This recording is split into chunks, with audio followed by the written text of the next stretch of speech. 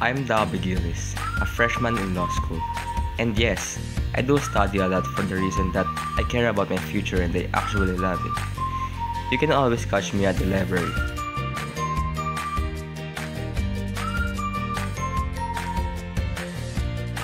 But I'm not that nerd guy who never had friends.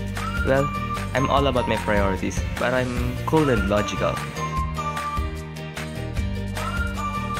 It is a fact that not everyone has such a giant intellect and... Who is this girl?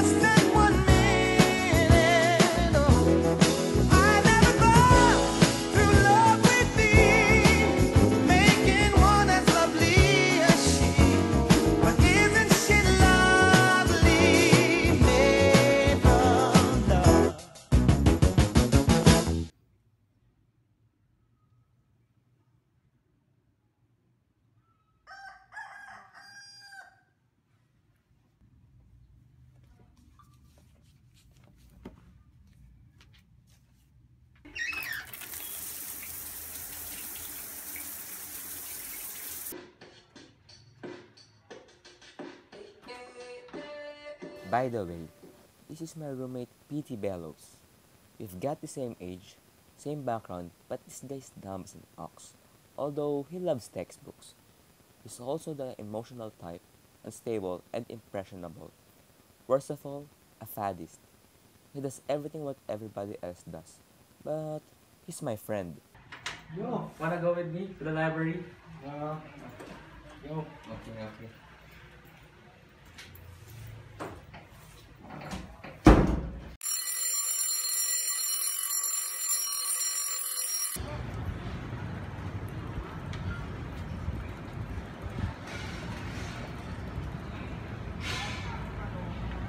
Molly.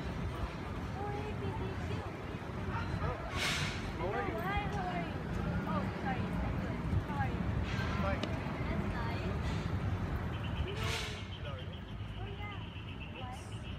Yeah, I have a book of him um, titled Ravens and Love. Hey, man. Hey, I want to tell you something, bro. what is it? There's this girl I like, bro. Mm-hmm. She's a freshman. She's pretty and rich. Mm, so proud of you, man. So, does she like you?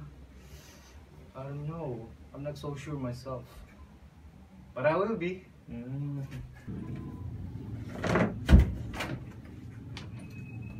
Wait, wait, wait. So, this girl, what does she look like? See for yourself.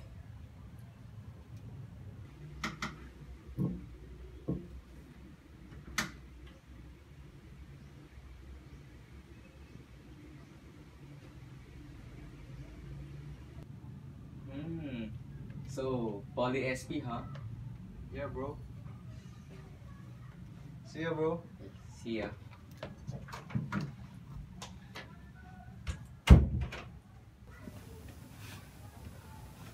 I'm doomed. He did like that girl. What to do? What to do? What to do?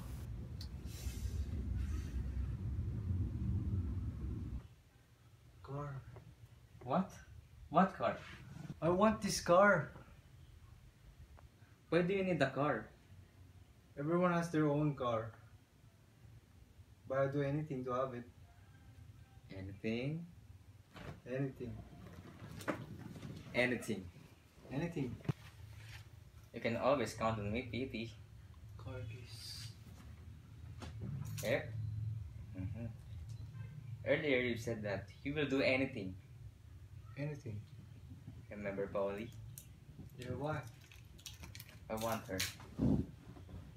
Never, bro. But That's a car. This is the deal. Alright.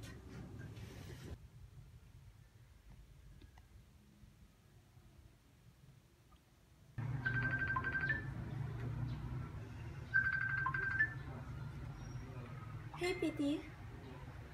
Hey, Polly. Uh, why? Are you free tomorrow? Let's hang out. I want you to meet someone. Uh, okay. Can I bring my friend with me? Okay, sure, sure. Bye.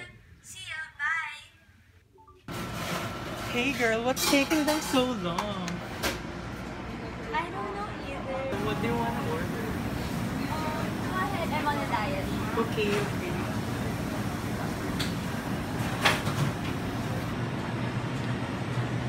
Polly! Candy! Oh, hey, Petey. Come sit with us. Sure. Oh, and who's this handsome guy? Oh, oh, by the way, this is Dobie. Dobie, this is Candy. Hi. Hi. Oh, this is Nice to meet you. Oh, hey, Polly, I think we need to go. Yeah. I'm sorry. We gotta go. Thank Nice meeting you. Wait. We can try that tomorrow. Over lunch. It's my treat. Yes. See ya. Bye. I had my first date with Polly. This was in the nature of survey. I wanted to find out just how much work I had to do to get her mind up to the standard I required.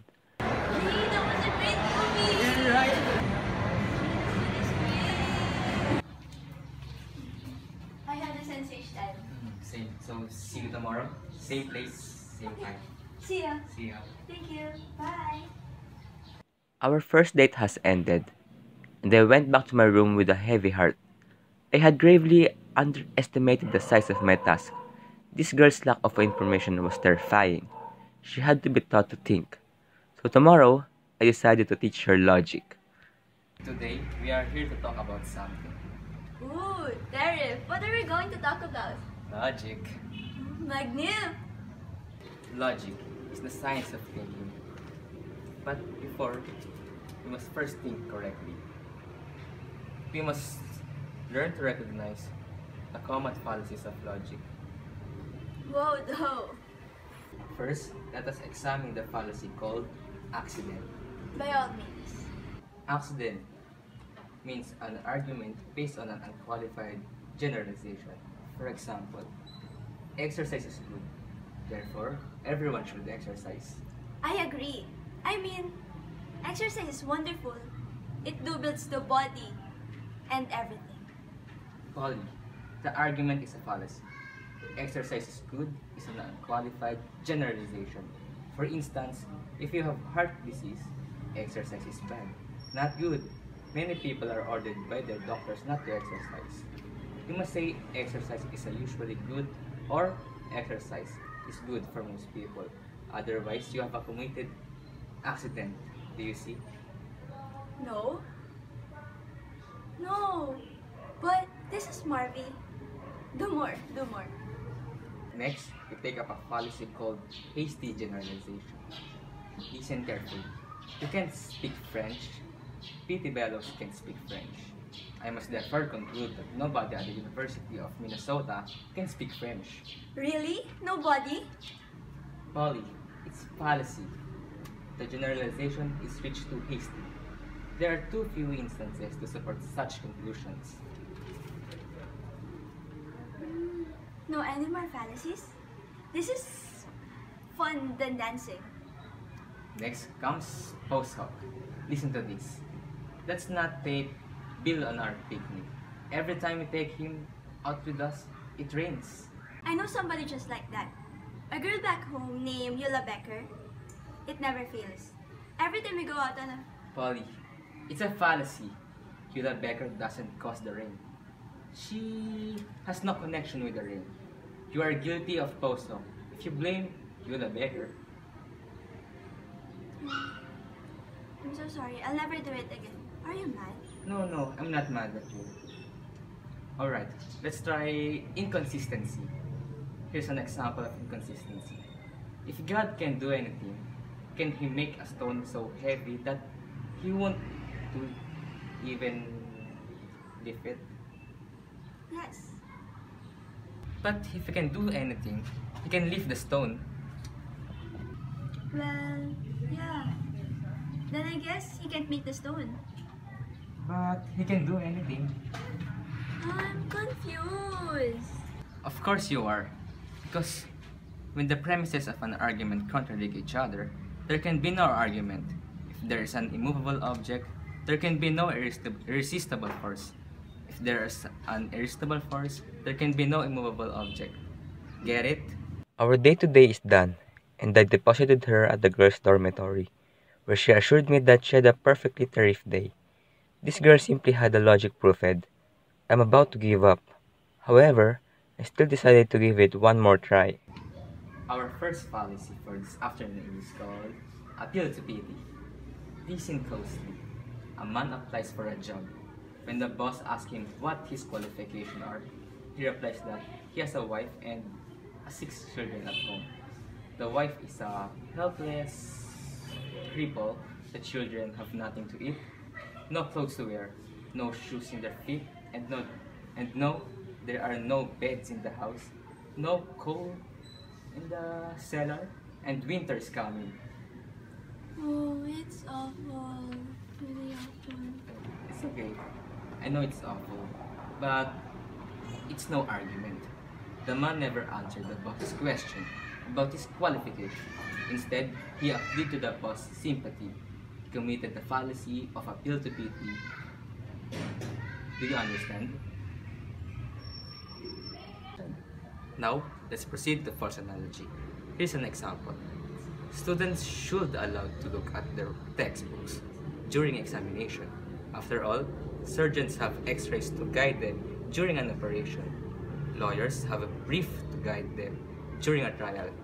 Carpenters have blueprints to guide them when they are building a house. Why then shouldn't students be allowed to look at their textbooks during an examination?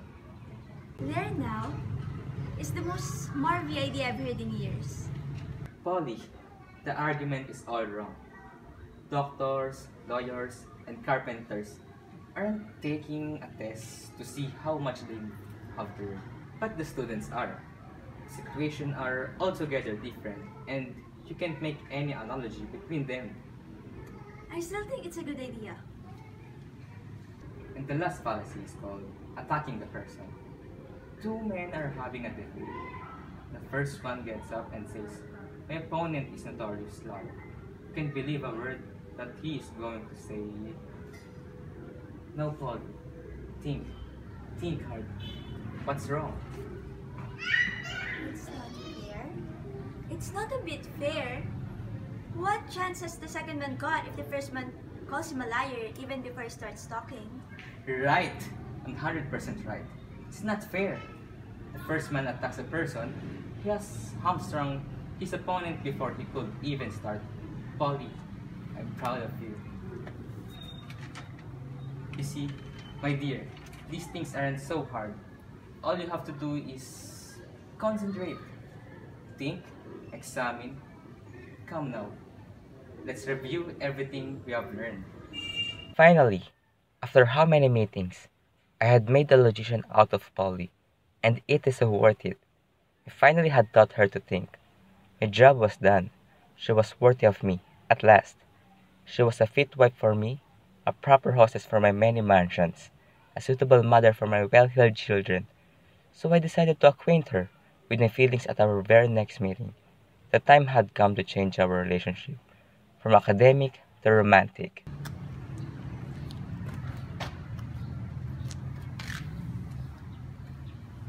Polly, today we will not discuss fallacies. Oh, gee.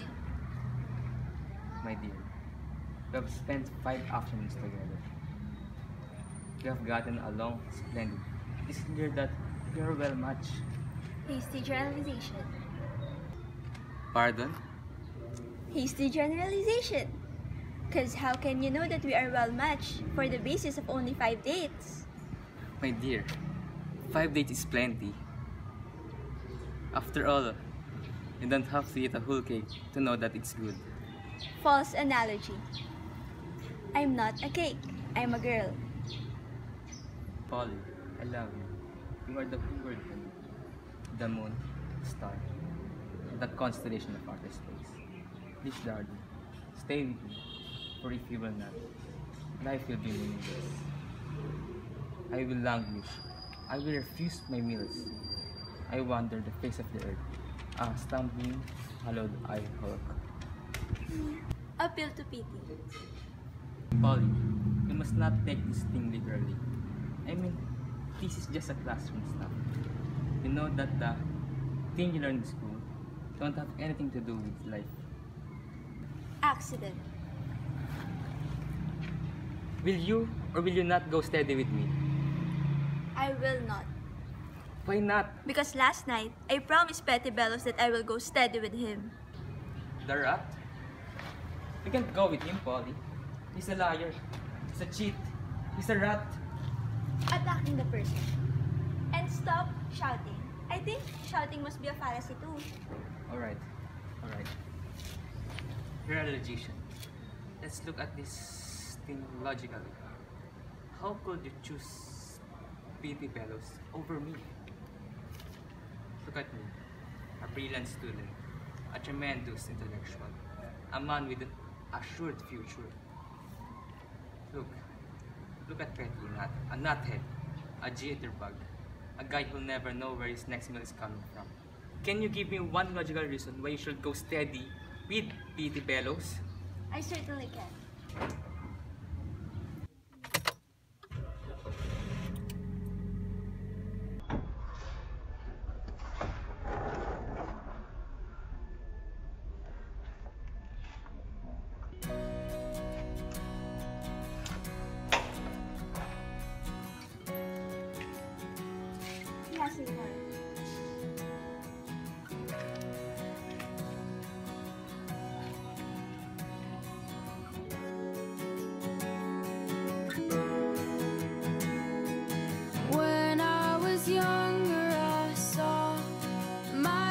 Daddy cry and curse at the wind.